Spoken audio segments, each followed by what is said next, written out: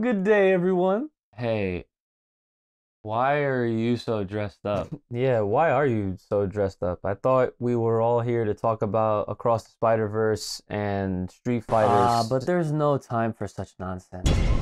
Nonsense? Do you realize how big both of those things are? yes, but we can discuss those things at a later time. Have you heard the news? About what?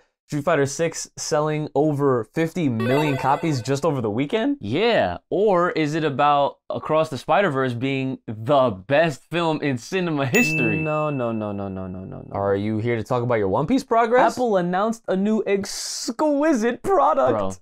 Bro. Seriously? Indeed. Check out the trailer. You could experience your favorite stories in unexpected ways or in unbelievable places. You could be at the game without leaving your home. What if you could travel on a National Geographic adventure? Or if your imaginary friends And what if you could become a superhero and seek the answer Space. Time. Reality.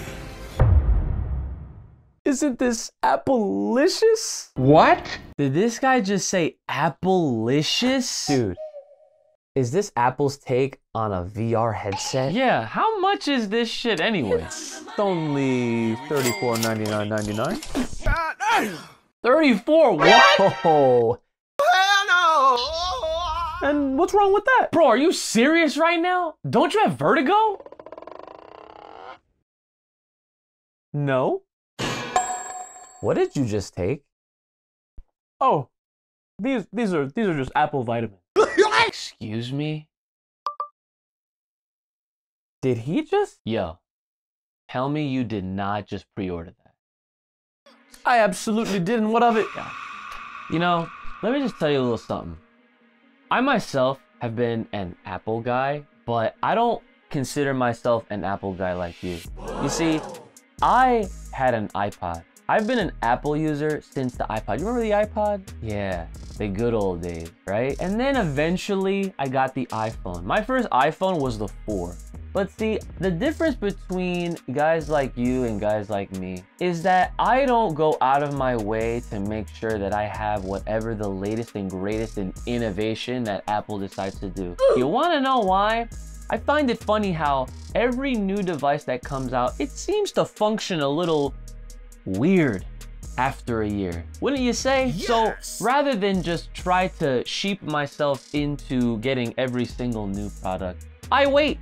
I wait because it doesn't really matter because I know that there's going to be something new each and every year. But the innovation is not really going to back these ridiculous price points. But that's not even the issue here.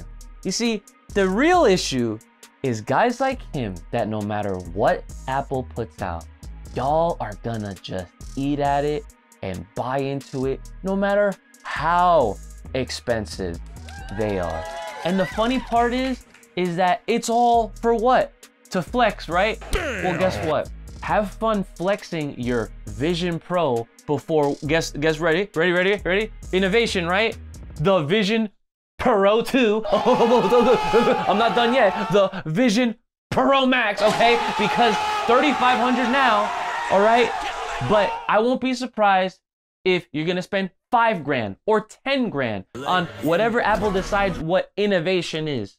Because at the end of the day, no matter what they do, folks like you are just gonna keep buying this no matter how innovative or not these things are. So have fun flexing in your own home to yourself away from everyone else because I'm cool with my iPhone 12. Yeah.